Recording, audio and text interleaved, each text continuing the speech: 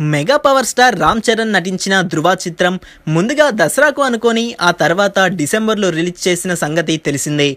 జనవరిలో మెగాస్టార్ నటించిన ఖైదీ రిలీజ్ కావడంతో ధృవ చిత్రాన్ని ముందుగానే థియేటర్స్ నుండి తీసేశారు. దీంతో ధృవ అనుకున్న కలెక్షన్లు రాబట్టలేదని అభిప్రాయాలు వ్యక్తమవుతున్నాయి.